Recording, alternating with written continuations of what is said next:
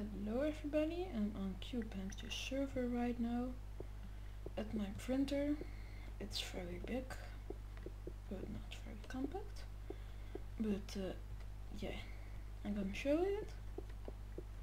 It's uh, 3 by 3 right now, but can be big, bigger, but if I know I can build it, I don't want to make it like super big. And I'm seriously lagging because of the server. But first toggle this lever. That will let all the blocks fall here on this only glass block. And this lever will hmm, is this Oh the clock stopped.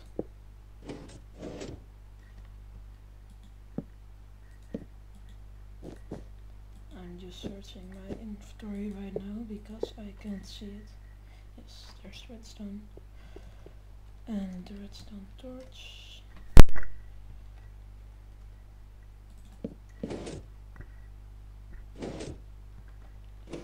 So yeah.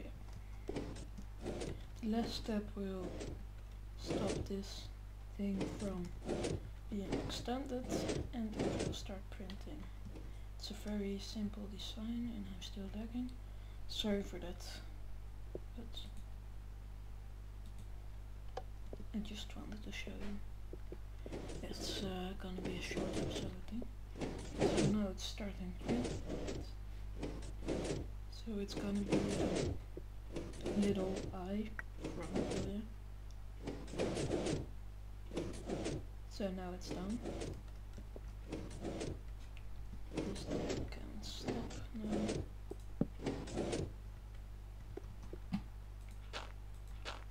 So it printed the eye. And then we reset oh, reset it. And that is the gravel and sand printer. Here's a block chooser. Because you just drop the blocks here. This will give a signal signal and will power the next one now I'm going to show you the wool printer. That's not really a printer but yeah.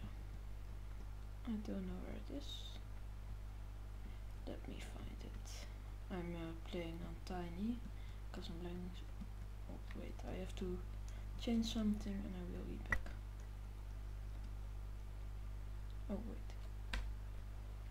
Um, I changed my record key. Um, it was